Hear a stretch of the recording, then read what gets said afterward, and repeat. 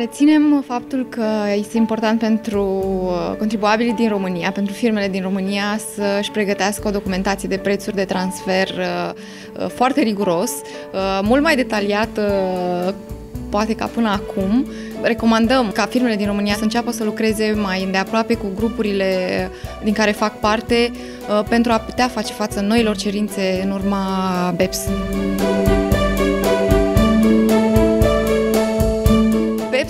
Deja aici, adică la noi sunt, uh, sunt implementate deja prin simplu fapt că urmăm uh, ghidul OECD, deci tot ce s-a modificat direct prin acțiunile BEPS sunt, practic, putem considera că sunt, sunt de urmat deja.